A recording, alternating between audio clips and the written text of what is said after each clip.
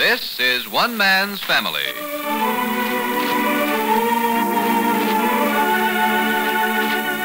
One Man's Family is dedicated to the mothers and fathers of the younger generation and to their bewildering offspring. Today we present Chapter 14, Book 70, entitled San Francisco Answers Back. Attention, please. Special information. You will hear the next episode of One Man's Family tomorrow night, Monday evening, July 4th. That's Monday, tomorrow night. In the East, your station will carry the show at 8 o'clock Eastern Daylight Saving Time. On the Pacific Coast, 8.30 Standard Time. Check your local newspapers, but don't forget, you will hear One Man's Family tomorrow evening and every Monday night thereafter over most of these stations.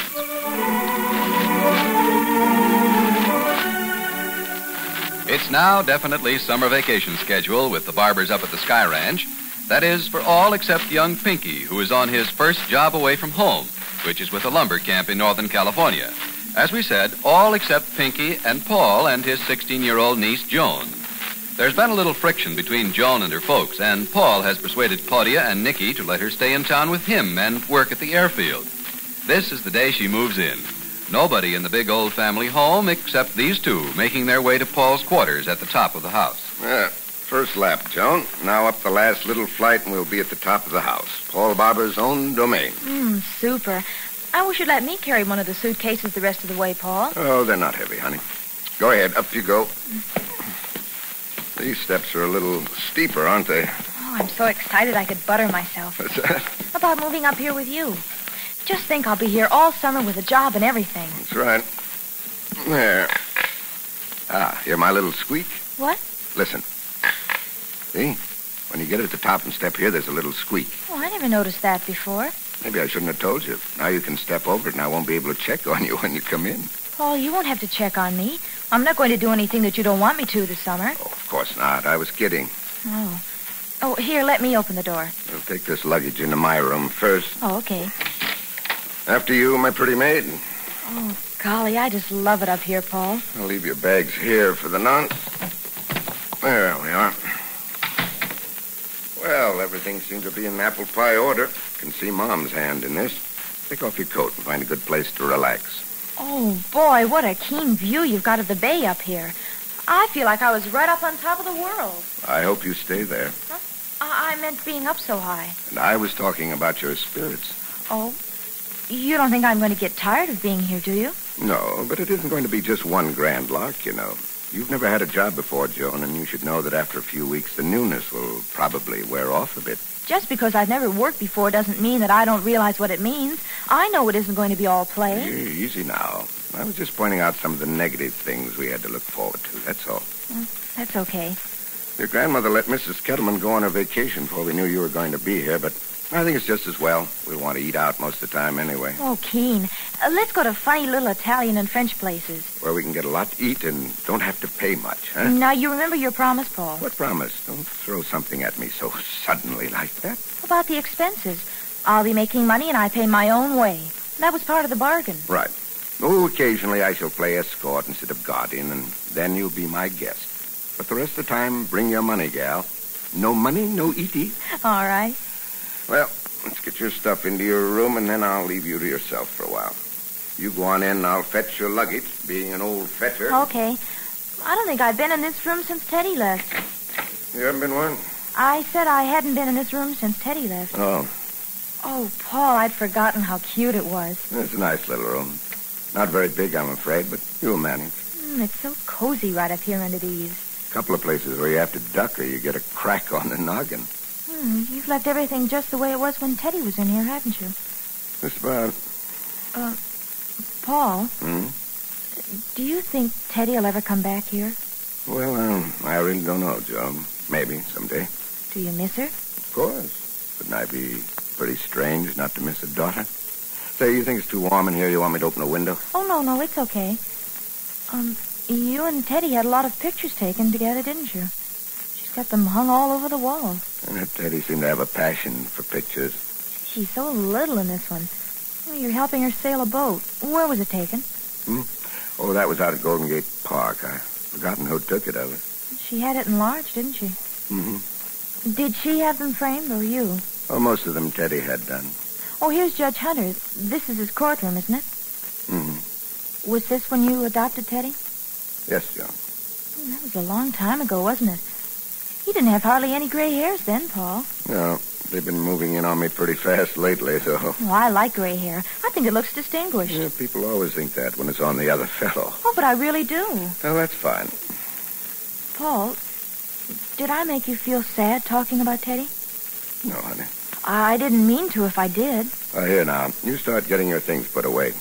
Is there anything in the muscle line like the lifting of some heavy object you want done before I leave you? Oh, I don't think so, Paul. Okay, well, I'll leave you to your own devices for a while then. All right. And thank you, Paul, for fixing it so I could be here. Oh, I love it up here and you and, oh, just everything. Well, if it all works out the way I hope, you're going to have a pretty proud uncle by the end of summer.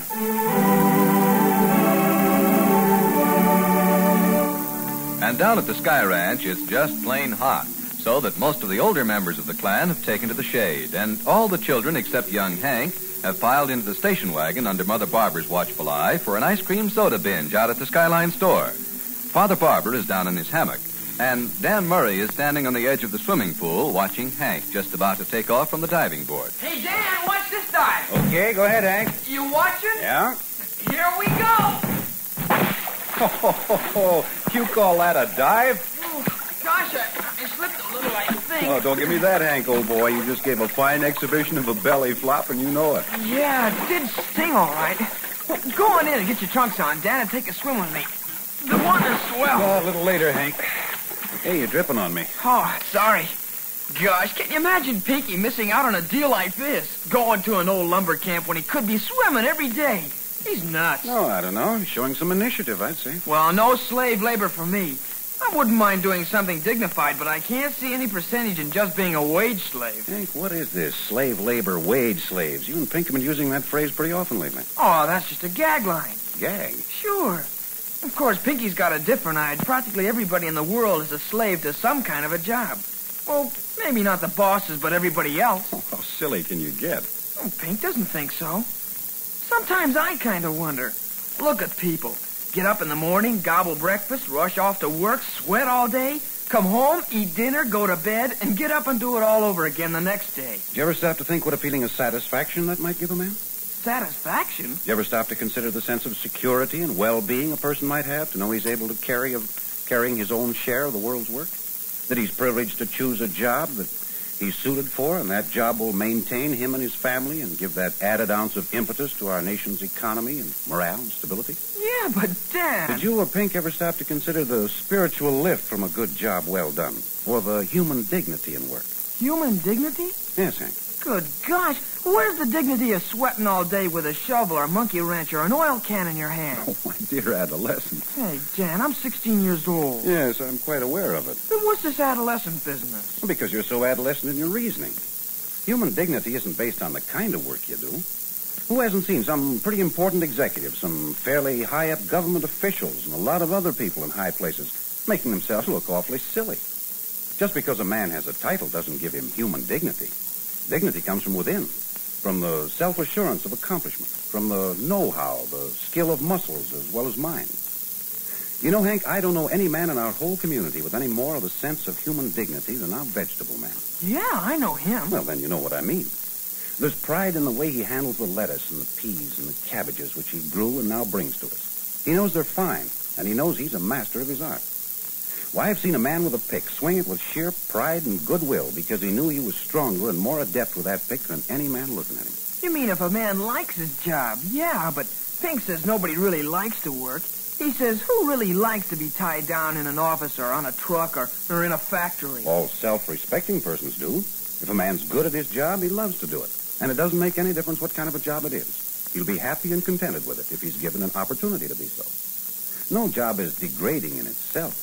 It's only degrading if his fellow men make him think it is. Only if his employers misuse him. You really believe that, Dan? I know it, Hank. The majority of mankind loves physical labor, welcomes a chance to coordinate his mind and his muscles, because we're basically a strong, active animal. It's only when we're belittled in our own minds and in other people's minds that we lose the will to do our best. Believe me, Hank, never speak of the workers of America as wage slaves or whatever it is you said. because it just isn't true. American people love to work. They need to work to be happy. And when you do what you want in this world, it can never be slavery. Never. Yeah, I told Pinky was crazy. Only his argument sounded pretty good. Well, don't mine sound more reasonable? you bet. And that's how I like to think of the American people. We all do. Not as slaves, not as people with their noses on the grindstone, but as honorable men and women who go about their daily jobs because they're happier at work than at any other occupation. Hi, Aunt Claudia. Hi, Hank. Oh, Dan, Hazel thought you were down at the stable with Nicky. Oh, I was, but I'm back. What can I do for you? Not a thing. Come on out to the new side porch when you haven't anything better to do. We'll all be there. I'll do that little thing. Oh, where is Hazel? Oh, she just stopped in the living room a minute to see Cliff. She and Cliff have some kind of a wingding underway. You seem so strange and quiet sitting in here, Cliff. Are you all right? Oh, sure, Hazel, sure. Oh, why don't you come out and join us on the porch? Well, I will in a minute. I, I've been trying to remember something, anything, about Irene. Irene. Oh, uh, you want me to go? No, no, Hazel, please. I, I guess I'm scared. I lived in this in this house, right in these rooms, here at the Sky Ranch, for years with this girl. Now I can't even remember her, Hazel. It, it, it scares you a little. I've been staring at this picture. It's Irene. You say it's Irene. I was married to her. She was my wife. No matter how long I look at it, she's just a very pretty face and a name. I can't bring back anything. Maybe you shouldn't try, Cliff. That's what everybody says. Maybe you shouldn't try, Cliff. Take it easy, old boy. Relax. Be glad you're still alive. Does anyone in this household have the faintest idea what it's like to have 11 whole years wiped out like like figures off a blackboard? 11 years just just gone? But trying isn't going I'll tell you something to try, Hazel. Try waking up some morning on a pleasant day in 1938. Only it's 1949. Try finding yourself with a son you didn't even know you had. And all the faces around you with 11 extra years on them. Years that you lived to and can't remember. And just get nothing. Nothing at all if I... I'm sorry, Hazel. No, I'm sorry. Oh, that's all right, Cliff. Did you ever look into a big telescope out into space trying to get hold of a billion miles of nothing? Once. So did I once. Ever try to figure where space ends, maybe? Once. Yeah. Well, that'll give you the general idea. If I could just get a glimpse of living here with Irene, just any kind of a glimpse, I'd. I don't see how I could have done it. Could have done what? Hazel, I loved Anne. So what was I up to when I married Irene? What was it? Rebound? Oh, Cliff, you're doing yourself an injustice. Now, believe me, Irene was a dear, lovely person, gentle and really good. She was a loyal, uh, whither thou goest, I will go sort of person. Please believe me, we all loved her. We were all glad when you found her. Yeah, those are nice words, and I like them. but- Cliff, you were at loose ends until you met Irene. All right, all right. There's one thing I can't get through my thick, cracked bean, Hazel. She could be charming and gentle and really good and loyal and all that without caring a whole lot for my son. Well, I want to know one thing. Did Andy have any trouble with her? Oh, of course not, Cliff. I don't know where you get this idea that you and Irene were bad for Skip, for Andy. She wasn't his mother? I don't know why you're dwelling on this. Because I found Andy living with Nicky and Claudia, that's why. Because nobody's being honest about it. They look embarrassed when I ask questions. So something was haywire. And I just want to find out what it was. Skippy. I can't remember to call him Andy Cliff. Skippy just blended in with the whole family after Ann died. He just belonged to everybody, and everybody belonged to Skippy. And then you married Irene, and you and she and Skippy came to live here at the Sky Ranch. And you never saw such a happy little boy as Skippy. That's true? It's all true? All true. If you have any doubts, sometimes sit down and talk to Skippy about Irene. Well, why hasn't somebody said this to me before? Well, it's still hard for us to talk about Irene even yet. You know, she was going to give Skippy a little brother when she was killed. Hazel, she... She, she was... I, I was... Uh, yes. Her confinement was only a month or six weeks away. But I don't know her. She was my wife. She was going to have my child, and, and I don't know her. Now, wait, wait just a minute, Cliff. Uh, where, where's that old Bible? Well, if it's more pictures... No, no, no. It's Reverend MacArthur's eulogy to Irene. Father made a copy of what he said that day. Here it is. Now you close your eyes, Cliff, and listen. There was everything in Mr. MacArthur's voice that day. His affection for Irene, his sympathy for you and family, and and there was faith. It was deeply felt, deeply sincere. Yeah. I always liked Mr. MacArthur. We who live upon this earth for so short a span must not grieve too deeply when one or another among us drops by the wayside to return to Mother Earth, from whence our corporeal being came.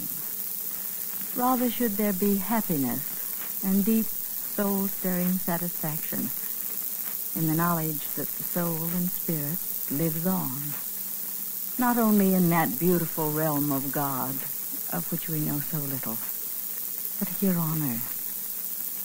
For no one can doubt that the sweetness and goodness and gentleness which was Irene, will continue to live and permeate and make fragrant all the places which were her earthly haunts. She brought something fine into the world, and it must remain, even though she has departed.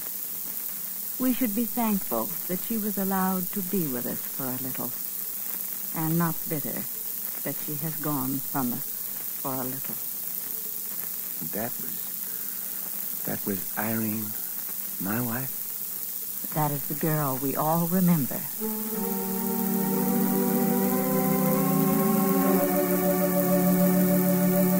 Mail's here, mail's here. Hey, Nicky, where is everybody? Oh, here you are, Jack. How about a return game of horseshoes, old boy? But, Nicky, the mail's here. Oh, no, I don't want to see it. Huh? Why not? It has a rather depressing appearance, old boy. You know, these improvements we made up here this spring have inspired a lively correspondence with the local tradesmen. Oh, that's it. no, I don't think there's a bill in the whole batch, Nicky. But look at the mail today. Say, quite an avalanche. Well, Hey, Dad, mail's here. Letters for you, lots of them. Yes, yes, Jack, I'm coming. So where are you going to be? There's a gang out on the new porch. We'll go around there. well, just a moment and I'll be with you. Yeah, take the mail around to the gathering on the porch.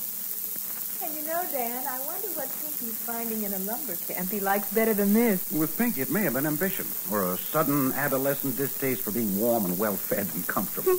Pinky disliking comfort? I don't believe it. No, it does happen, Claudia, when you're 16 or 17. Sudden revulsion against conveniences and comfort and your loved ones. I told Hazel that. What'd you tell Hazel, Dan? Oh, come and join us, my dear. Clifford coming? Yes, he's coming presently. We were talking about you, Hazel. Hmm, Come and join me in the glider. I was telling Claudia about Pinky. I'll never know what got into him. He just couldn't bear the thought of staying home this summer. Room enough? Oh, lots, thanks. The mail came a moment ago. Jack and Nicky are bringing it up. I hope there's a letter from your traveler. Oh, what were you saying about Pinky, Dan? Oh, oh well, um, after Hazel agreed to him getting a summer job, I said I'd help him get one. I wouldn't promise what kind, but we'd pay his fare to it, and after that, he was strictly on his own. He wanted to get just as far away from home as he possibly could. I just don't understand it. you would if you'd ever been a 16-year-old boy. It's an itch. I uh, I read a line once that covers it. Your heels are on fire. I tell you, Nicky, here they are. oh, Jack, bring the mail. Coming. Is there anything from Pinky? Might be, Hazel. You never saw such a batch of stuff. Bills for us for repair on the Sky Ranch, I'll bet. Not a bill in the lot. Huh? Astonishing, too, isn't it? You know, the promptest correspondence I've ever had in my life were in the accounting department of the local. Oh, where in the world is your mother? Oh, come on up, Dad. There was a safari for sodas and ice cream out to the Skyline store. Mother went along. Was she in that station wagon? An ice cream soda compulsion hit the very young generation boom like that. It was a sort of mass movement, a perfect tidal wave. You couldn't stop it. Here's the chair, Father Barbour. Thank you, thank you. Well, where's Clifford? Uh, he's in the library. Jack, you're up. Yeah, I'll get him. Uh, Jack, you're going off with the letters. I'll bring him back, Dad. Cliff. Hey, Cliff, postman's been here. Anything for me? Big batch of stuff. Come on out. Well, here we go. I feel like Santa Claus. Very papers there. uh, letter for Claudia. Thank you. Oh, oh, Nicky. Here's one. Transparent front on it, no doubt. It's the bill, all right. My mistake. Well, the gathering of the clan. Uh, come along, Clifford. Come along. Letter for Dad. Huh? From whom? Dr. Fred Thompson. Oh, that's good, Frederick. Drumming up a little business, I suppose. Magazine for Claudia. Magazine for Claudia. Magazine for Claudia. Gosh, when do you get time to read them? I don't. Mother does. She's hanging from a cliff in five continued stories. Isn't there anything from Pinky? Not yet. Dad, Dad, Dad, Dad, Dad, what is what is all this? Dad, Looks like fan mail. Dad, What's happened? Dad. That one's from the San Francisco Junior Chamber of Commerce. Junior chamber? You'd think the senior chamber would write to an old party like that, wouldn't you? Don't be flippant, Skipper. Don't be flippant. Well, this is a confusion of riches. Aha. What is it? I wonder if this could be what you're looking for, Hazel. From Pinky. From uh, Wilderness Camp Number 4, Siskiyou County, California. Wilderness camp. That sounds good. Sounds perfectly dreadful. Let's have it. Oh, oh, but it isn't addressed to you, Hazel. To Mr. Daniel Murray, Esquire, mm-hmm. from William Herbert Murray, airmail, smudged and blotted. Oh, Dan, open it quickly. Now, what do you know about this? Now, here is a perfectly vicious letter from that nosy, sawbone Fred Thompson. Says he's heard I'm planning to move my family to the city of Los Angeles. Oh, look here. Dr. Thompson says what? Who's moving to Los Angeles? Hey, you see how rumors get started? And here's one from Mrs. DuPont Jackson Powers, and one from the Sea Cliff Garden Club, and several from friends and neighbors, all violently opposed to our moving to Los Angeles. Dad, who's moving to Los Angeles? Is anybody around here moving somewhere? I hadn't heard about it. Hot down there, isn't it? Well, cold and foggy up here sometimes, old boy. Uh, Dan, what about Pinky's letter? Uh, just hold on a second. What's happening here, Father Barbour? What is all this? Oh, it's a rumor, Daniel. Last week, the Los Angeles Junior Chamber of Commerce, very flattering, I'm sure. Yes, yes. The Los Angeles Junior Chamber of Commerce said, in public, mind you, said that we were a representative California family, and we should recognize the fact that life can be lived to the fullest in Southern California. If life could be any fuller in Southern California, I couldn't stand it. there speaks the mother of three lively Jews. Los Angeles. I say, how did this come about, sir? I don't know, Nicholas. It was an open letter. They phoned me about it. Oh, there was also something in the San Francisco Chronicle, I believe. Hey, I missed that. You see how word gets around? Now, here are all these people who have heard a rumor, and so they think we're moving to Southern California. Well, maybe we should take a vacation down there. Maybe they do have something. Clifford, and you were born and bred San Franciscan. Well, I didn't commit myself, did I? Yes, but they do have something. Great deal. I'm always enchanted every time I go down there. Yes, it's quite a pretty country. Why, some of my best friends live in Southern California. Uh, Father, what's this new letter from the San Francisco Chamber of Commerce? Yes? Oh, yes, yes. Uh, no doubt they, too, are urging us to go. Dad, do you know anyone at the Chamber of Commerce? Yes, certainly. Herb Chisholm. Herb Chisholm. Herbert M. Chisholm, the president of the San Francisco Junior Chamber of Commerce. Yes, he's a very dear friend of mine. Well, uh, what's the letter say, Dad? Huh? You want me to read it aloud? That's the general idea, Dad. I want to hear the letter from Pinky. Uh, just a moment, uh, Hazel. I'm about to read it. Uh, you ready? We've been ready for 20 minutes. Yes, yes. Uh, dear Mr. Barbour, as a native San Franciscan, I must confess amazement and shock as a result of reading the letter from President Martineau of the Los Angeles Junior Chamber of Commerce on June 26th. President Martineau is undoubtedly a city of Los Angeles citizen first, last, and always, and we think that his loyalty to his city is most commendable. But even to suggest that the Barbours give up San Francisco in favor of moving to Los Angeles is to move in the realm of the fantastic. How could I move six kids anywhere? It's all I can do to move them up here to the Sky Ranch for the summer. Uh, uh, what would, nay, what could our southern neighbor offer in exchange for the Sea Cliff home site, commanding as it does a sweeping view of the approaches to one of the world's most spectacularly beautiful harbors? Atta boy.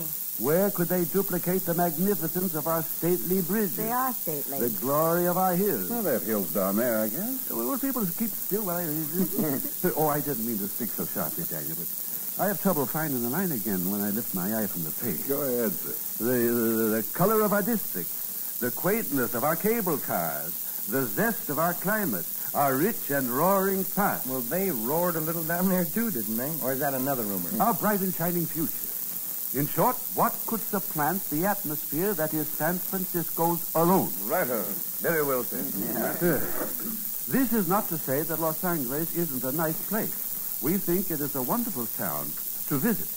And we hope that the Barbours will be able to drop down there for a few days, if only to needlessly confirm that Angelenos do not prefer without cause to San Francisco as the city. Sincerely yours, Herbert M. Chisholm, President, San Francisco Junior Chamber of Commerce. Oh, boy. That's quite an answer, isn't it? But I don't want to move down to Southern California. They didn't ask us to move down, Claudia.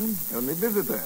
And I, for one, intend to accept. Yes, I I think it's a very flattering bit of enterprise when a group of Los Angeles businessmen would go out of their way to invite us to go down. there. And as I said, I, for one, intend to accept their invitation.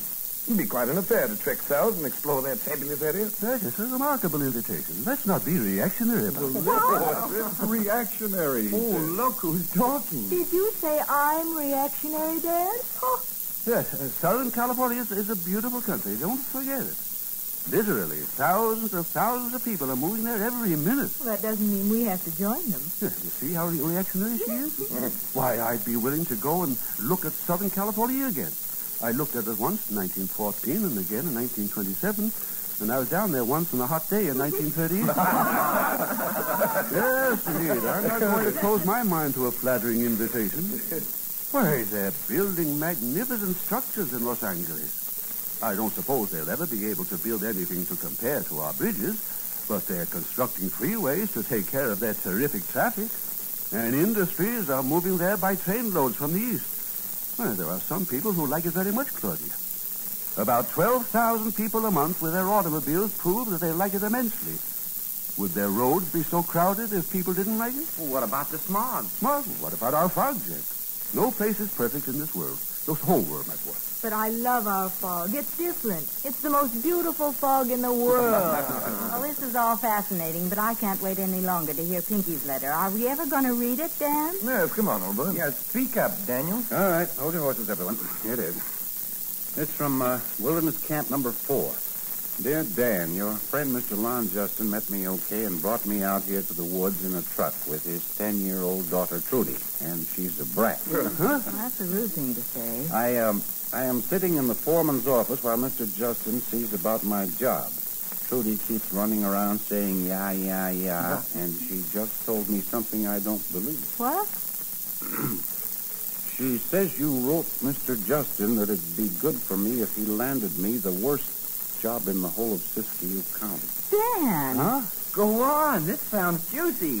Oh, well, for the rest of Oh, it. no, nothing doing. Read it now. Come on. Get along with it. Because she says you said the worst job in the whole of Siskiyou County would be good for my character. Oh, Dan, you didn't, did you? Yes. Oh, well, uh, he, he, he goes on now.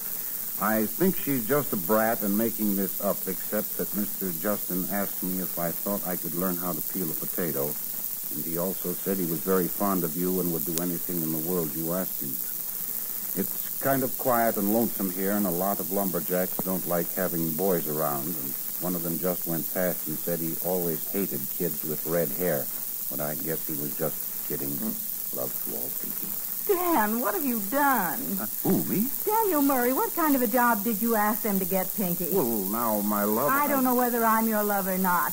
Uh, will you excuse us, everybody? Dan and I are going off somewhere and have a nice, quiet little talk. Uh-oh. Out behind the woodshed with you, Daniel. That's what she thinks. Come on, my love. Boxing gloves at 20 paces, and may the best man win. Why, Daniel wouldn't strike easy. uh, not with boxing gloves, Dad. Certainly not. But he might beat her over the head with a couple of red-hot exclamation points.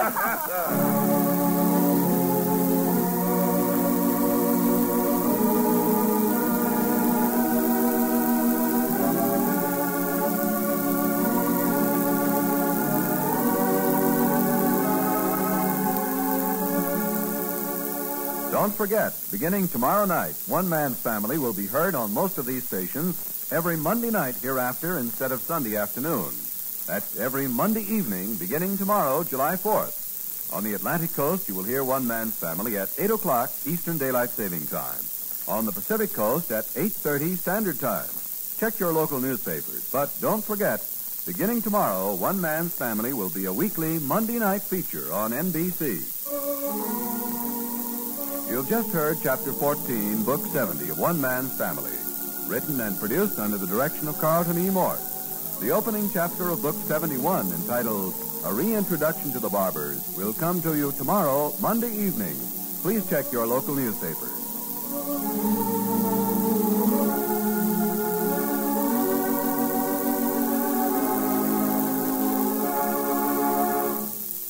One Man's Family comes to you from California.